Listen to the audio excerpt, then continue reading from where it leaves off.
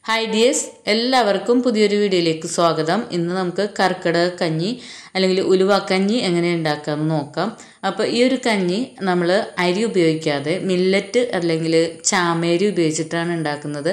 അപ്പോൾ ഇത് വെയിറ്റ് ലോസുകാർക്കും അതുപോലെ ഷുഗർ കൊളസ്ട്രോൾ ഇതൊക്കെ ഉള്ളവർക്കും കഴിക്കാവുന്നതാണ് കുട്ടികൾക്കും കഴിക്കാവുന്നതാണ്. അപ്പോൾ നമ്മൾ ഇതിന് വേണ്ടിയിട്ട് ഉപയോഗിക്കുന്നത് ചാമേരിയാണ്.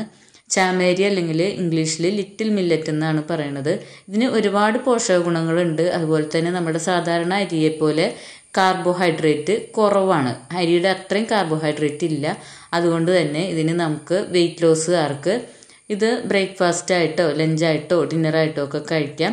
കർക്കിടക മാസത്തിൽ നമ്മൾ സാധാരണ കർക്കിടക കഞ്ഞി ഉണ്ടാക്കുമ്പോൾ ഇത് ഒരു അത്താഴത്തിനായിട്ട് കഴിക്കുന്നതായിരിക്കും ഏറ്റവും നല്ലത്. അപ്പോൾ ഇതിനകത്ത് നമുക്ക് ആവശ്യമായിട്ടുള്ള എനർജിയും വൈറ്റമിൻസും ഒക്കെ കിട്ടുന്നുണ്ട്. അപ്പോൾ അതുകൊണ്ട് നമ്മൾ സാധാരണ ചാമേരിയാണ് ഇതിന് ഉപയോഗിക്കുന്നത് എങ്കിലും മില്ലറ്റ് ഉപയോഗിച്ച് ചെയ്യുമ്പോൾ നമുക്ക് വെയിറ്റ് ലോസുകാർക്കും ഷുഗർ കൊളസ്ട്രോൾ ഉള്ളവർക്കും അതുപോലെ നമ്മുടെ ശരീരത്തിന് ബലം നൽകാനും ഒക്കെ ഈ മില്ലറ്റ് നമ്മളെ ഹെൽപ്പ് ചെയ്യും. അപ്പോൾ ഈ ഒരു മില്ലറ്റ് നമ്മുടെ സൂപ്പർ മാർക്കറ്റിലൊക്കെ ലഭിക്കുന്നതാണ്. ഇത് ഈസി ആയിട്ട് കിട്ടും. അപ്പോൾ ഈ ഒരു മാസത്തിൽ നമുക്ക് ഒന്നില്ലെങ്കിൽ ഏഴ് ദിവസം അല്ലെങ്കിൽ പതിനഞ്ച് ദിവസം അല്ലെങ്കിൽ ഈ ഒരു മാസം ഫുള്ളായിട്ട് ഇതേപോലെ ഔഷധക്കഞ്ഞി ഉണ്ടാക്കി കഴിക്കുന്നത് നമ്മുടെ ഹെൽത്തിന് വളരെയധികം നല്ലതാണ്.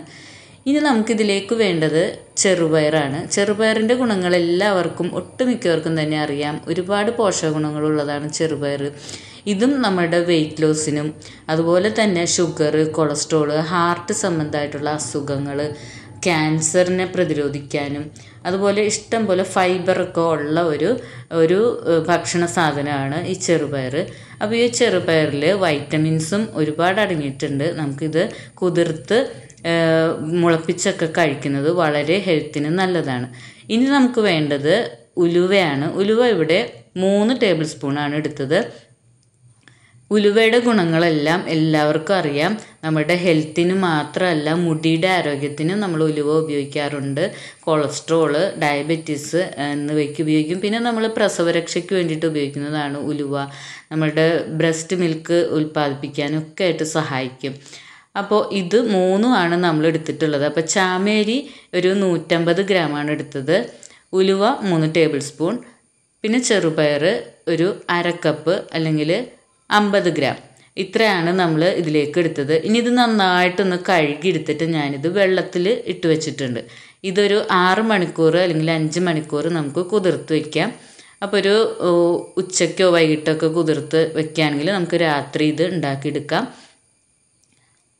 ഇനി ഇത് മൂടി വെച്ചിട്ട് ഒരു അഞ്ച് മണിക്കൂറിന് ശേഷം നമുക്ക് എടുക്കാം. അപ്പോൾ ഇതൊരു അഞ്ച് മണിക്കൂർ കഴിഞ്ഞിട്ടുണ്ട്. എല്ലാം നന്നായിട്ട് കുതിർന്ന് കിട്ടിയിട്ടുണ്ട്. ഇങ്ങനെ കുതിർത്തുന്നത് എന്തിനാന്ന് വെച്ചാൽ പെട്ടെന്ന് നമുക്ക് വെന്ത് കിട്ടാൻ വേണ്ടിയിട്ടാണ്. അപ്പോൾ ഉലുവയും പയറും ചാമേരിയൊക്കെ നന്നായിട്ട് കുതിർന്നിട്ടുണ്ട്. ഈ ഉലുവയുടെ വെള്ളം മാത്രം നമ്മൾ കളയൂല. ബാക്കി ചാമേരിയുടെയും ചെറുപയറിന്റെ വെള്ളം നമ്മൾ എടുക്കണില്ല. അരി മാത്രമായിട്ട് എടുക്കാം ഇനി ഇതൊരു കുക്കറിലേക്ക് ഇട്ടിട്ട് ആണ് നമ്മൾ വേവിക്കുന്നത്. അപ്പോൾ പയറും ചാമേരിയും ഞാൻ വെള്ളം കളഞ്ഞിട്ട് എടുത്തിട്ടുണ്ട്. അപ്പോൾ ഈ ഒരു മാസം നമ്മൾക്ക് ഒരുപാട് അസുഖങ്ങൾ വരാൻ സാധ്യതയുള്ള ഒരു മാസമായതുകൊണ്ട് ഇതുപോലെയുള്ള പ്രതിരോധ ശേഷി തരുന്ന ഭക്ഷണങ്ങൾ കഴിക്കാനും എളുപ്പം ദഹിക്കാനും പറ്റുന്ന ഭക്ഷണങ്ങൾ കഴിക്കാനും എല്ലാവരും ശ്രദ്ധിക്കണം. ഇനി നമുക്കിതിലേക്ക് വേണ്ടത് ആശാളിയാണ്. ആശാളിയും നമ്മുടെ ശരീരത്തിന് ആവശ്യത്തിനുള്ള പോഷകങ്ങളും നമ്മുടെ ശരീരത്തിന്റെ സന്തുലിതാവസ്ഥയ്ക്കൊക്കെ നല്ലൊരു ഭക്ഷണ സാധനമാണ് ഇനി ഇതിലേക്ക് അര ടീസ്പൂൺ നല്ല ജീരകം അല്ലെങ്കിൽ ചെറിയ ജീരകം കൂടി ഇട്ട് കൊടുത്തിട്ടുണ്ട്. ഇനി ഇതിലേക്ക് ആവശ്യത്തിന് വെള്ളം ഒഴിച്ചു കൊടുക്കുക. അപ്പോൾ വെള്ളം ഒഴിച്ച് കൊടുക്കുമ്പോൾ ഒരുപാട് വെള്ളം ഒഴിക്കരുത്. ഇനി ഒരു നുള്ള് ഉപ്പാണ് ചേർത്തത്. ഈ ഉപ്പ് ഒരുപാടൊന്നും ചേർക്കണ്ട. കാരണം ഇതിനകത്തേക്ക് രണ്ട് രീതിയിൽ ഉണ്ടാക്കാനുള്ളതാണ്. മധുരം ചേർത്തും മധുരം ചേർക്കാതെ. അപ്പോൾ കുറച്ച് ഉപ്പ് മാത്രം ഇട്ടാൽ മതി. ഇപ്പോൾ ഇതൊരു രണ്ടോ മൂന്നോ വിസിൽ വേവിച്ചാൽ മതിയാകും. രണ്ട് മൂന്ന് വിസിൽ കേട്ട ശേഷം നമ്മൾ ആവി പോകുന്നത് വരെ അടച്ചു വെക്കുക വിസിൽ ഫുള്ളായിട്ട് പോയ ശേഷം നമുക്ക് തുറന്നു നോക്കാം. ഇപ്പം നന്നായിട്ട് വെന്തിട്ടുണ്ട്. അപ്പോൾ ആവശ്യത്തിൽ കൂടുതൽ വെള്ളം ഒഴിച്ചു കഴിഞ്ഞാൽ ഇത് നമ്മളെ വിസിൽ പൊന്തുമ്പോൾ അതിന്റെ കൂടെ തിളച്ച് പുറത്തേക്ക് വരും.